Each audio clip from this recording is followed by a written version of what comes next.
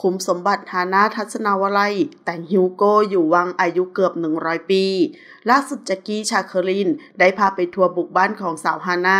งานนี้บอกเลยว่าทั้งอลัง ทั้งหรูหราไปหมด เปิดกลุ่สมบัติที่มีค่ามหาศาลได้เห็นกันแบบชัดๆ ซึ่งทางด้านของฮาน่าเล่าว่า เมื่อก่อนก็ซื้อไปเรื่อยๆ ไม่ได้คิดอะไรมาก แต่เพื่อนๆก็ได้มาแนะนำว่าควรซื้ออะไรที่ต่อไปจะมีมูลค่าเพิ่ม ตัวอย่างตอนนั้นเธอชอบเข็มขัดเส้นหนึ่งราคาอยู่ที่ 7-8หมื่นบาท ตอนแรกก็คิดว่ามันแพง ไม่ซื้อดีกว่า แต่พอเวลาผ่านไปแค่ไม่กี่เดือน ราคาสูงขึ้นมาหลักแสนทันที ก็เลยรีบตัดสินใจซื้อทันที เธอเผยว่าของที่เธอสะสมบางที ก็ไม่มีขายแ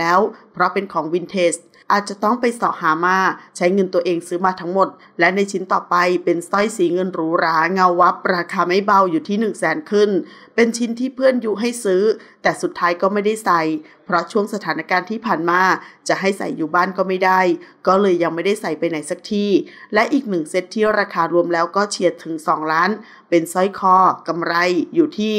150,000 บาท ต่างหูอยู่ที่ 130,000 บาท ทั้งนี้เธอเผยว่าราคาสิ่งของที่เธอซื้อมาขึ้นตลอด ซึ่งหลังจากที่ฮาน่าแต่งงานกับฮิวโก้